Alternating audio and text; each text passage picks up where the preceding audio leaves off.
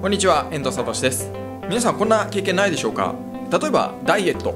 ダイエットをしなきゃいけないんだけどついつい食べてしまう。食べちゃいけないと分かりつつも食べてしまったり。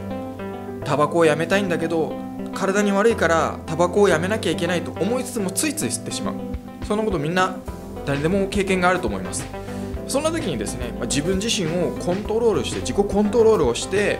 明日にやろう明日やろうとどんどん先延ばしにしたりすることなくですね今そのことをややるべきことをどんどんこなしていく。そういった意志力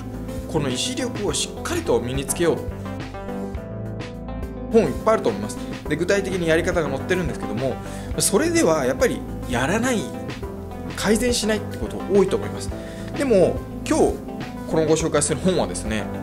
どうして人間はそういう行動をとってしまう、まあ、誘惑に負けてしまったり物事を先延ばしにしてしまったりあるいは何かに依存してしまったり本当はやらなきゃいけないのにどんどん後回しにしちゃう。そういった行動をなぜ人間がとってしまうのかとどうしてそうなるかということをしっかりと人間としてですね、まあ、受け入れて受け入れてじゃあどうしようかと。それに対してどういう行動をとっていけば意志力を高めていくことができるかと。いうことがしっかりと書かれている本です。その本は何かと言いますとこのスタンフォードの自分を変える教室というこの一冊の本です。これ僕はあの尊敬しているコンサルタントの方に教えていただいた一冊なんですけども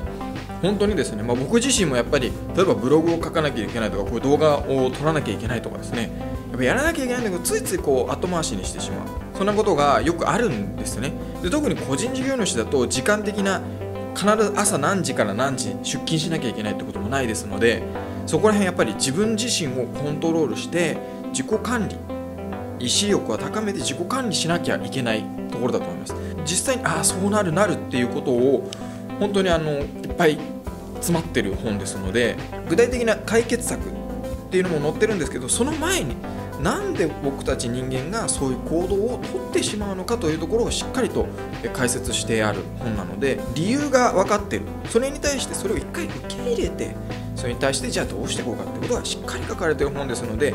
自分のその行動意思というものを変えていきたい。自己コントロールをできるようにしたい。